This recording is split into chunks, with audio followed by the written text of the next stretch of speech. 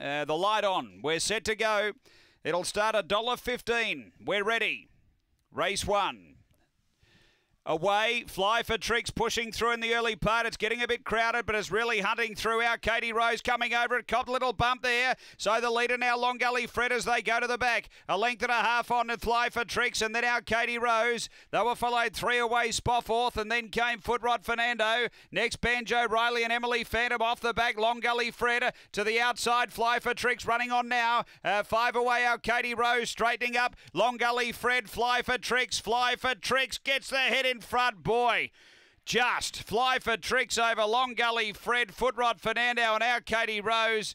Uh, then Emily Phantom and Spofforth is back at the end. Punters would have had their hearts in the mouths there, taking the really short quote. Uh, 30 and 22 is the run. Just put the head out right in the nick of time. Uh, number two, Fly for Tricks.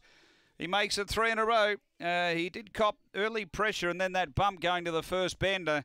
He just um, tracked a little wide in the home straight and uh, he got there right on the peg. Number two. Second to one, Long Gully Fred for Paula Herndon. And third to four, Footrod Fernando, Bosco Stominkovic.